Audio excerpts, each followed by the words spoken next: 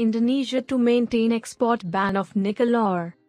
Indonesia's coordinating Ministry for Maritime Affairs and Investment has rejected a proposal by nickel miners to allow the export of nickel ore again. Ministry spokesman Jodi Mahardi told Reuters the Indonesian Nickel Miners Association APNI proposed this month that the country allow exports of nickel ore to cushion the impact on processed nickel exports by global measures to control the coronavirus outbreak. We reject the relaxation of the ban on nickel ore exports. The contributions of processed nickel exports to total exports have increased significantly in the first quarter.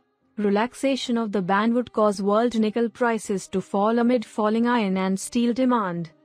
Indonesia, once the world's biggest nickel ore exporter, started banning exports of the ore in January to boost the expansion of its domestic smelting industry.